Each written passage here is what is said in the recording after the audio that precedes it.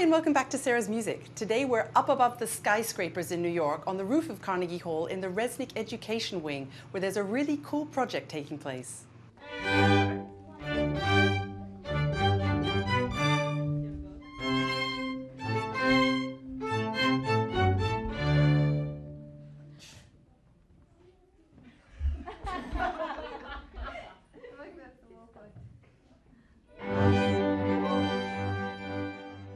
Music education is really important to Carnegie Hall. Carnegie's Weill Institute produces an extraordinary range of music education and community programs for young people of all ages, from small children to music students from all over New York City, and all from very different social backgrounds. Andrew Carnegie planned for this rooftop terrace over a century ago, and now it's reality as part of the Resnick Education Wing. It's a fantastic spot and also a great new home for music education in New York. It's great that big stars from the classical music world, such as the famous mezzo-soprano Joyce DiDonato, come to Carnegie to give masterclasses. Here, she's helping a young singer prepare for a role in Mozart's opera Don Giovanni. Why? Okay. Okay. And you don't know it's coming. That's this. There's, there's this fabulous eighth note rest. Mm-hmm. In quali eccessi o numi. Okay.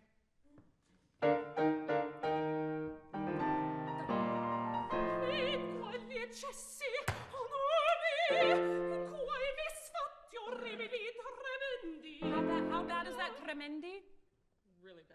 Really bad. It's orribile. Orribile. You're wonderful. Thank it's you so, so good to hear much. this in your voice, really. Beautiful. Let's sing tonight. This is the main music space of the Resnick Education Wing, and I'm here with Christopher Amos from the Weill Music Institute. Chris, this space is incredible. We're way up in, amongst the pigeons up here at Carnegie Hall. What happens up here? Well, the Education Wing is the home of Carnegie Hall's Weill Music Institute, so it serves a wide range of music education and community programs for the hall. That includes work with very young children and families, um, school children from throughout New York City, uh, young artists, and young professionals. It's the most amazing space for education. It's a real, it's a real calling card for what Carnegie Hall wants to say how important music education is for them. I mean, 230 million, the renovations, 24 rooms. It took four years to create. Yes, it did. And it's allowed us to bring together uh, all of our education programming, which happens throughout New York City, and bring many of those programs into the building. And as you have seen today, uh, we serve a wide range of people, and it's wonderful to see when those different groups of people have an opportunity to connect. So to have a member of the Berlin Philharmonic coming to work with young hip hop producers has just been a fantastic It's been exactly the other way around for me to for me to be able to a, a, a Berlin Phil musician who would never play hip hop otherwise. It's been incredible, and I, I got the feeling the kids are really proud to come here to the Carnegie Hall. You know, it's it's it's it's a luxury to have your education space in the hall. It is, and it's uh, it, it's fantastic space. It is the, the highest quality education space. Well, I mean, just the view for a start. Stunning. I'm really excited because I've been invited to take part in Carnegie Hall's digital music production workshop for students between the ages of 13 and 19 here in the education wing. They told me to bring my horn. I don't really know what else is going on, but I'm really looking forward to it. Okay, we're gonna get a little warmed up. You can stand up.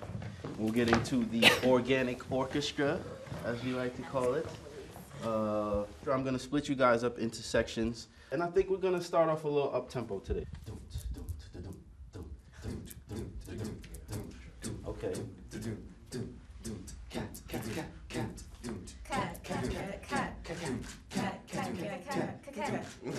You gotta be awake. Oh, we keeping the tempo. Okay, you guys ready?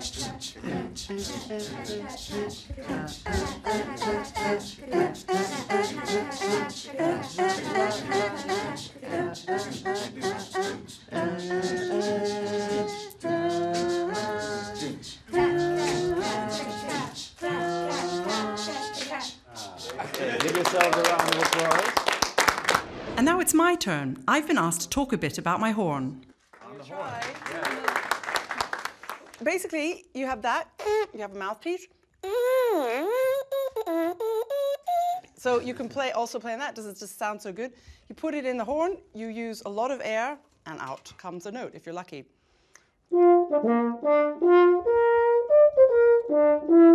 You need to coordinate lips, tongue, air, fingers, uh, brain. Yeah. If I unrolled the horn, it would probably be about twice as long as this. But, but that's basically all it is. Here, hold it up. You just have to put a mouthpiece in.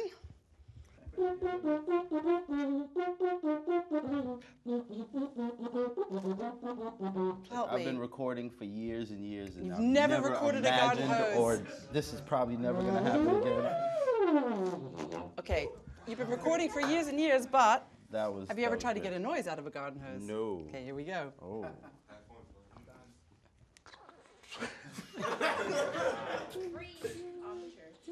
no, that's singing. That's not for you. Just as if you're spitting. Yeah, well, we're going to work on that. The French horn can be a pretty cool instrument, and I think if it's okay with you guys, I would love to do some sampling with you and see what you can, what you can do out of the French horn. I would love to hear that.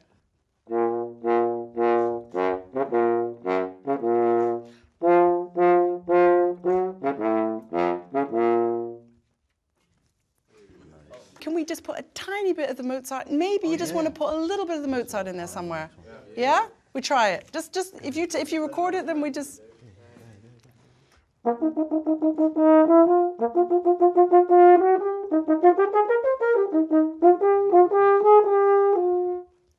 Nice. Okay, now it's your turn. The workshop participants split into small groups and take my Mozart and Star Wars samples with them. I wonder how that's going to turn out.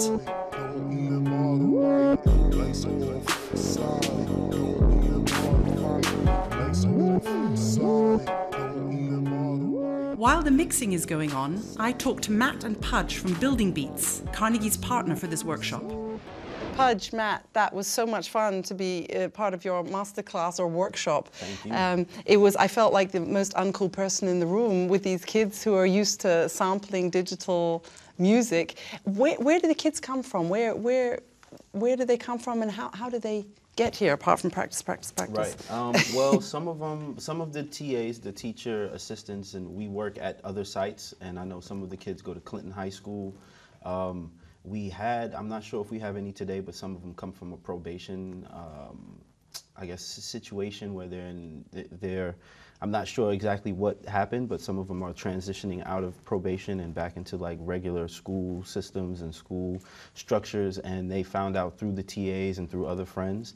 And you say uncool, I say you might have convert. you have people, you know, question, wondering about the classical a little bit more. The questions Yeah. they were asking were great, and you know, They you made it fun. They were fantastic kids, but what you do with them, I mean, it's it's a lot of it's a lot of work. You coming, you're classically trained, right? I was so you can trained. you can bring that also into the into the workshops with the with the you about keys and and Yeah. and all that stuff. Do you find you need your classical training to do to be able to do these workshops? because I think there's a lot of versatility in classical music, and you know, there's certainly um, sampling that they can grab from any piece of music that they, they they've been.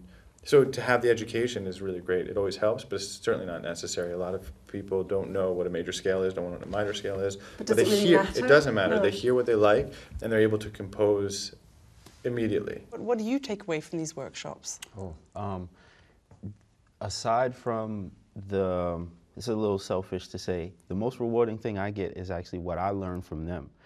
You know, some of the questions they ask, some of the things that I'm like, wow, I would have never asked that. I would have never thought to ask that when I was that young. You know, it makes me approach my music differently. So, it's, it's great. It's, The coolest thing that happened today was just playing that little bit of Mozart just now, and there were two kids that came in that weren't there at the beginning, so they'd missed all of that. Mm-hmm. And the big guy there, I heard him say, he turned to his friend, he said, "Cool, that was sweet," and I was like, "Yes." right. Okay, here we go. Let's see what they've produced. Off side, don't eat them all the right. Who is that? She's She's scary, man. Lights off. Yay!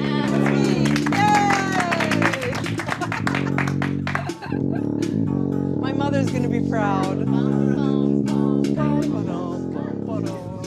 Remember when you would like you played the horn, then you were talking? We could cut that up. We sampled your vocal first, then put it in the song. Then we sampled That the costs horn. extra. Cut that up. Cut that up.